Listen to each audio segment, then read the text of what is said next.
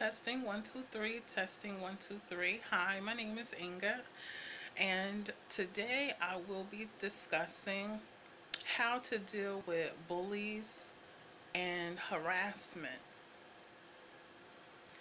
I really thought my first video would be about fashion and that type of thing, but here I am talking about harassment and bullies. But it's befitting. Today is the 4th of July. Happy 4th of July, everyone. I hope you're having a good time with your family, family members, and friends. And it's a time of to celebrate freedom. And I hope this video helps someone.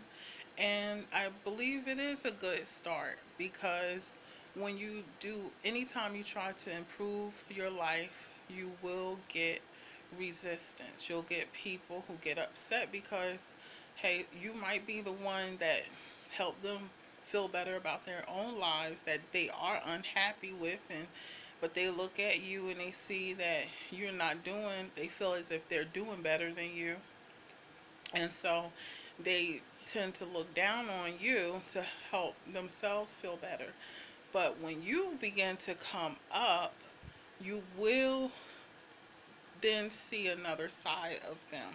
And it's usually not very good. And um, so I would say if it, it could happen anywhere, it could happen in your own home, it could happen amongst your um, friends, it could happen at your workplace, it could happen in your neighborhood. Um, it can happen um, in school. Um, and what you, I would say, your best friend would be documenting. Start a diary. Dates, times, names. Keep it private. Definitely keep it in a safe, private, secure place. And this way you will begin to be able to determine if there is a pattern and if how severe it is getting, if it's just little petty things, or if the person is be, starting to become a physical threat. Are they um, damaging your your property? Are they physically um, attacking you? That that's a concern. But I would say um, first start off with documenting I'm, I'm not going to go into the the part of um, when someone is actually being assaulted and those type of things like that. I'm not I'm not going to touch on that, but I'm I'm more so talking about if you suspect that you're being harassed or you're being bullied, if you are you kind of questioning it and you're on the fence of it, I would say document it make sure you date it, put the time, and do it. Um, try to get someplace and write it down when it's fresh in your mind.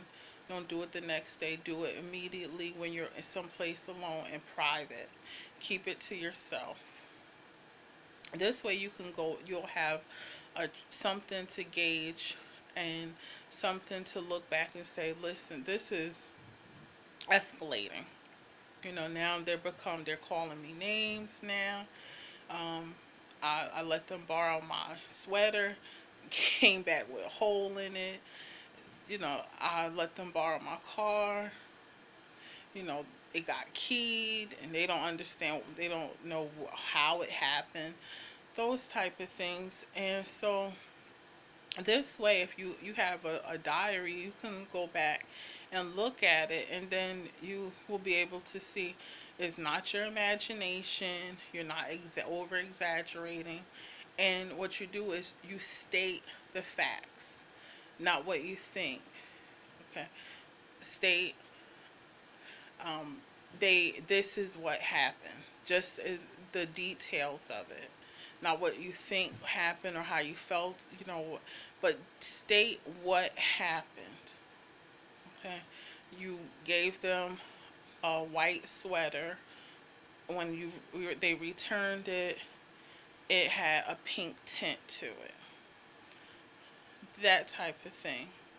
So this will be you'll be able to gauge um, a lot better as to whether or not this is your just your imagination or if and sometimes you might just have to move on um, from the friendship from the relationship.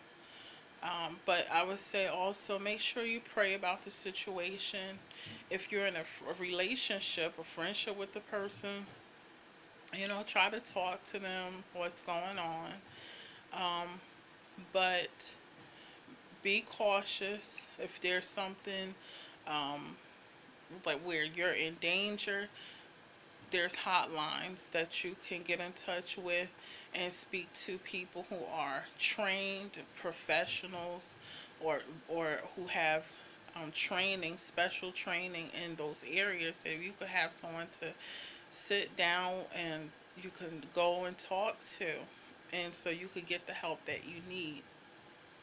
But back to the beginning of what I was saying is once you decide to improve your life, you will get people that will get upset over it because more likely if you were someone who didn't care about your looks, who didn't care about your appearance, who didn't want to do anything to improve your own life, then you were the person that made other people feel um, better about their own unhappy lives.